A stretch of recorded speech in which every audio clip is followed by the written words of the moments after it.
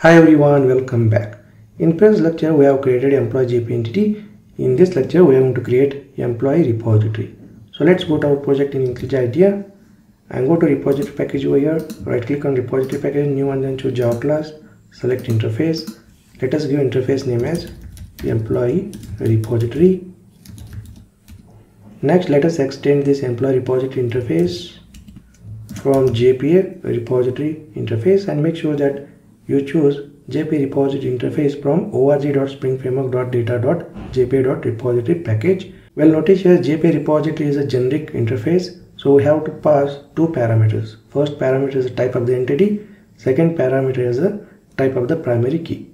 So let us select JPA repository over here and let us pass the parameters. First parameter as a type of the entity. In our case, employee entity. Next, let us pass the type of the primary key that is long. Well if you go to employee jpa entity you can see here we have given the type to the primary key id as a long. So this long data type we are passing to jpa repository as a second parameter. Okay perfect. Well once our employee repository interface extends jpa repository interface then this employee repository will get a CRUD methods to perform CRUD database operations on this employee jpa entity. All right? So if you go to JPA repository interface source code, you can see JPA repository interface provides these methods. And again JPA repository interface extends list CRUD repository interface. And list CRUD repository interface provides all these methods. And this list CRUD repository method internally extends CRUD repository interface. And this CRUD repository interface exposes uh, a CRUD methods to perform CRUD database operations. Alright, it means this JPA repository will inherit all the methods from all the extended interfaces.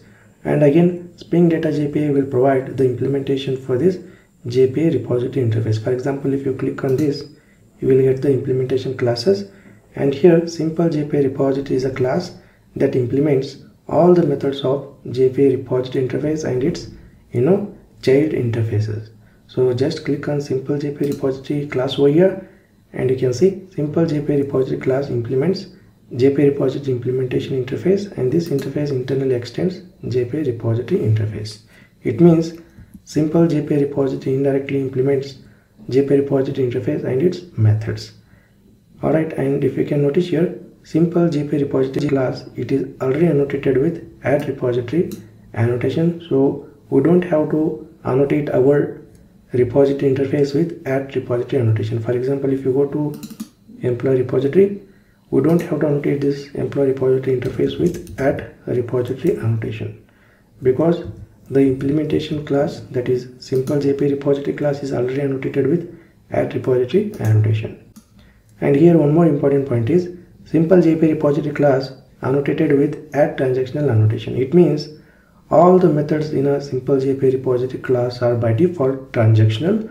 We don't have to use again add transactional annotation in a service layer to make the methods as a transactional. Okay.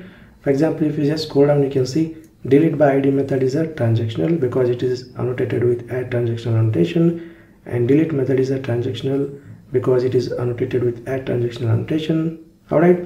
So all the public methods in a simple JPA repository class are transactional. So we don't have to again use add transactional annotation to make these methods transactional. Alright just remember these couple of important points like simple JPA repository is a class that implements JPA repository interface and simple JPA repository class is already annotated with add repository annotation. So we don't have to again annotate our repository interfaces with add repository annotation. And simple JPA repository class is annotated with add transactional annotation. So all the methods i mean all the public methods in a simple jpa repositories are by default transactional. We don't have to again make those methods transactional by using add transactional annotation all right perfect. So let me recap what we have done in this lecture. We have created employee repository interface that extends jpa repository interface. So this employee repository will get CRUD methods to perform CRUD database operations on employee jpa entity in next lecture, we will create an employee DTO and employee mapper classes. Alright, great. I will see you in the next lecture.